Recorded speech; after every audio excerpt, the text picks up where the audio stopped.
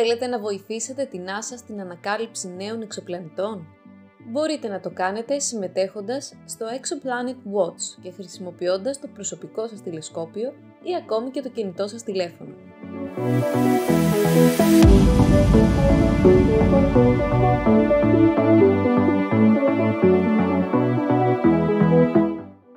Το πρόγραμμα Exoplanet Watch της NASA αναζητά πρόθυμους πολίτες που είναι παθιασμένοι με την επιστήμη για να βοηθήσουν στην παρακολούθηση πλανητών πέρα από το ηλιακό μας σύστημα.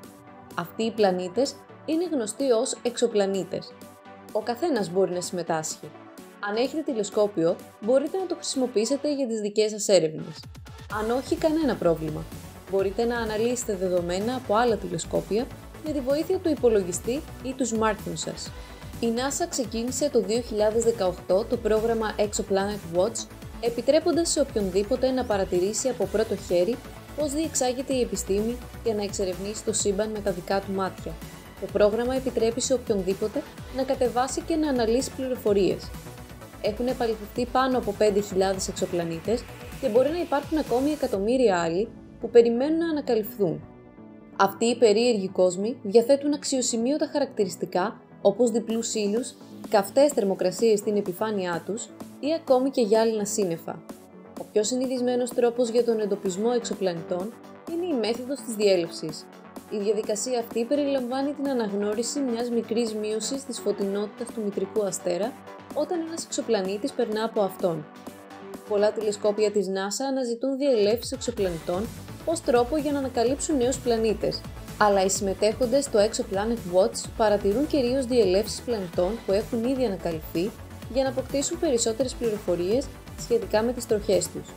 Εάν είστε σε θέση να παρατηρήσετε πολλαπλές διελεύσεις, τότε αυτό θα σας βοηθήσει να μετρήσετε με ακρίβεια το χρονικό διάστημα που χρειάζεται ο εν λόγω πλανήτης για να τεθεί σε τροχιά γύρω από το άστρο του.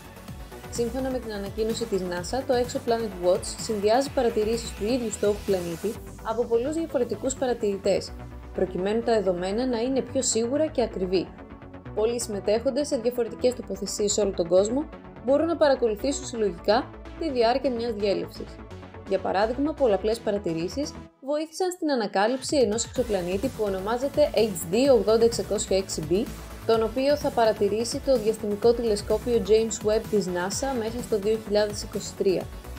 Αυτός ο πλανήτης εντοπίστηκε χρησιμοποιώντας συνδυασμένες παρατηρήσεις από περισσότερους από 20 συμμετέχοντες στο Exoplanet Watch.